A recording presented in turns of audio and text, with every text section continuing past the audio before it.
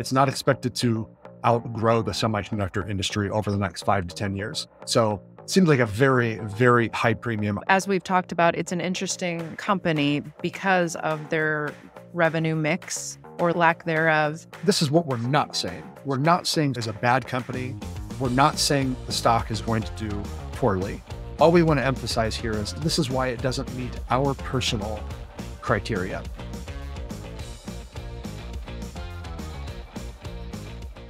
Welcome back, everyone, to Chip Stock Investor. Today, we're going to touch on a few companies that we get a lot of questions about ARM Holding, Super Microcomputers, and Axcelis. And we'll throw in a little bonus in ACM research as well. Let's start at the top of the industry flow chart in the patents and licensing portion of the industry with ARM Holding. This company had a stock rally at the end of 2023. Do we think that can continue into 2024, Nick? We're not so sure. So this is a foundational business. ARM, of course, owns a lot of IP tied especially to the smartphone industry. Apple, uh, lots of Android chips based on ARM architecture, basically all smartphones and mobile devices based on ARM chips. And the reason for that rally at the end of the year is it looks like we are going to get much healthier inventory in smartphone and PC chips in 2024, which could set the stage for maybe the next run of growth. We talked about this a bit more extensively with that Qualcomm video, which of course uses ARM architecture to design uh, a lot of its Snapdragon chips. We'll keep this one real simple and brief, Casey. For us, we have always had this long standing rule of thumb to wait at least a year after an IPO before buying the stock. And at this point, as 2023 came to a close, ARM was up 20% over the IPO price when SoftBank spun off a bit of its holding in ARM. But this really comes down to valuation for us. And this tends to happen the first year a company goes public or republic, in this case with ARM, because SoftBank acquired it a number of years ago. As of this recording here in mid January, ARM holding trades for about 100 times expected free cash flow for 2024. That's our estimate, right? What we're basically taking is ARM's free cash flow from the last quarter, which was 193 million, and multiplying it by four to get an annualized free cash flow of about 770 million. And based on the market cap right now, that's about 100 times one year annualized free cash flow. Suffice to say, I think that's a very, very steep price. Casey, we did an update on ARM a number of months ago after the IPO. And in its own admission, over the long term, ARM is probably going to be an industry perform business. It's not expected to outgrow the semiconductor industry over the next five to 10 years. So it seems like a very, very high premium. I'm sure SoftBank is very happy about that and wouldn't be surprised to see them sell off more of their position to rake in some more cash. So, no, we don't think this rally in ARM stock can continue. ARM Holdings had that investment into Ampere Computing valued at around 6 billion. Does that affect our decision on the stock at all? No, no, it does not. Uh, maybe just brief background Ampere Computing is a startup. They design ARM based chips for high performance compute data center applications. CEO, founder Renee James, former executive at Intel. Ampere is supposedly preparing its own IPO I think we wrote about this close to two years ago now. Mm-hmm. We'd be interested in Ampere computing. So far, no dice. We're not buying ARM stock just so that we can get a small ancillary play on Ampere. Let's talk about the next two companies that fall into that chip manufacturing equipment portion of the semiconductor industry Axcelis Technologies and ACM Research. What are our updates on that, Nick, before they have their earnings reports? Well, to be fair, we don't know what to expect exactly from Axcelis, but here's what we think we do know. Management had said it expects revenue of 1.1 billion or more for 2023. And they have not changed that outlook that was provided at the very beginning of November. They did have a press release here a few weeks ago in December saying that they shipped more of their ion implant machines. We're talking about this, I think, as it goes a bit hand in hand with Aehr Test Systems. This is very much a play on the growth of the silicon carbide market and power chips for things like electric vehicles, for the energy grid, industrial equipment, and so forth. So I, I would venture to say, based on the fact that they shipped more of those ion implant machines, a type of machine that competes with Applied Materials. We've got this other slide here that shows you the ion implant and where that falls into the steps in manufacturing wafers. Based on that announcement, we think they'll probably meet their guidance, but then headed into 2024, based on what Aehr Test Systems just said, we would not be surprised if some of Axcelis's same customers, remember, this is again another silicon carbide play, same customers ON Semi, Wolfspeed, uh, most of the IDMs are getting involved in this space some way, somehow. We would not be surprised if they push out some of their orders further out into calendar year 2024. We'd be a little bit worried that maybe Axcelis's growth rate, at the very least, flattens a bit after an exceptional 2023. And I think that's basically what the market has been anticipating. As we said earlier last year, starting last summer, paying a very high 20s or low 30s PE and price to free cash flow for a company like this at the peak, at the top of a cyclical peak is a bit dangerous. And the stock has come down since.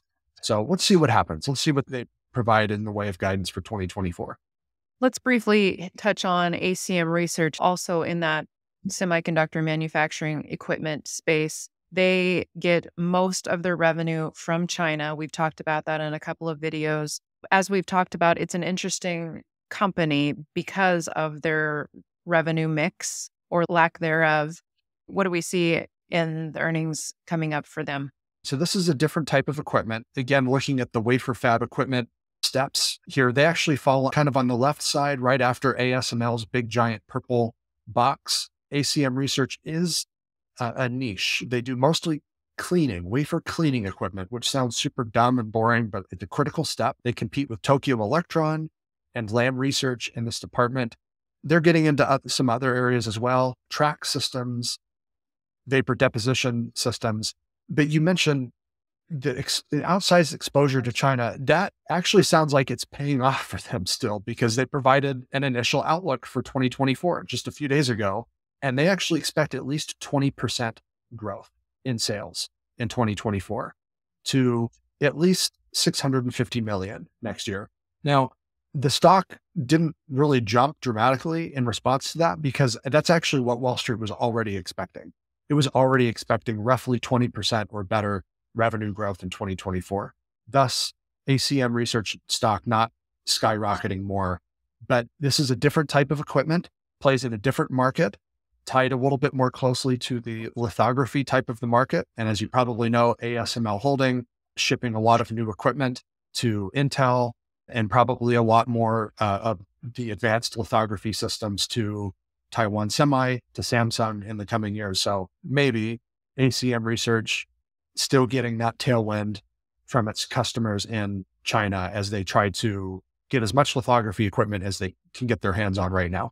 We'll probably have to do uh, some more updates on this though after ASML reports earnings in, in a couple weeks. Okay, last one in our video today: super micro computer. Where does this fall in the semiconductor industry, Nick?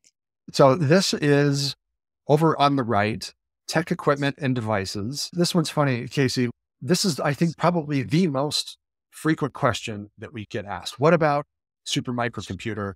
Our thoughts have not changed from the video we did last autumn a number of months ago.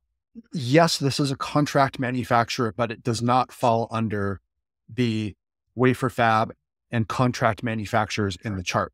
Those are companies like Taiwan Semi Manufacturing that are contracted to, to manufacture the wafers themselves or package the chips up.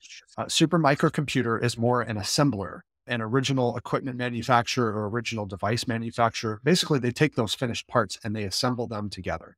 Maybe they provide a little bit of, of service as well to their customers before those servers get shipped to their data center customers.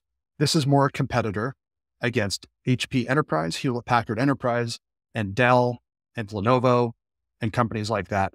Real brief here, you can see the pretty slim profit margins for these companies, typically like your Dell and your HPE, a mid single digit GAAP operating profit margin. Supermicro has ratcheted its margins up to a high single digit percentage during the AI boom here in the last year. But I think this is a little maybe financial investigative work here. There's a reason why these margins tend to be just single digit for a company like Supermicro Computer. And Casey, maybe we can just show uh, the paragraph in the 10K that is highly relevant. We'll just reshare this like we did last year. They say this We seek to protect our intellectual property rights with a combination of patents, trademarks, copyrights, trade secret laws, and disclosure restrictions. We rely primarily on trade secrets, technical know how, and other unpatented proprietary information relating to our design and product development activities. So, the way I read this, there's no patent protection on some of their work. Yeah. And just to be clear, this is what we're not saying. We're not saying Supermicro is a bad company. We're not saying the stock is going to do poorly. All we want to emphasize here is this is why it doesn't meet our personal criteria. They are an assembler of equipment. They actually rely heavily on the patents and processes of their customers, your NVIDIAs, your AMDs, your Intels, as well as the manufacturing processes of the contract manufacturers that make the wafers and package the chips that show up at Supermicro's assembly facilities. When we're looking for a, a foundational hardware business to invest in, we like something that owns its own tech. And so y'all probably know that we already own ample amounts of NVIDIA and AMD. They own the majority of these patents and intellectual property rights that Supermicro relies on. That essentially makes Supermicro a bit of an ancillary play on your semiconductor companies. And I think the, the argument that's often pointed out here, Casey, is Supermicro is cheap relative to NVIDIA and AMD. That's absolutely true. The stock appears to trade for just shy of 17 times 2024 expected earnings per share. Far, far, far less than NVIDIA and AMD, especially after NVIDIA's yet another 10% rise in the early weeks of 2024. Yes, Supermicro is relatively cheap. It could do very well in 2024, but this doesn't do anything for our portfolio. It doesn't add to our diversification. It doesn't add a new growth driver because if Supermicro is doing well, it's probably because NVIDIA and AMD are doing well.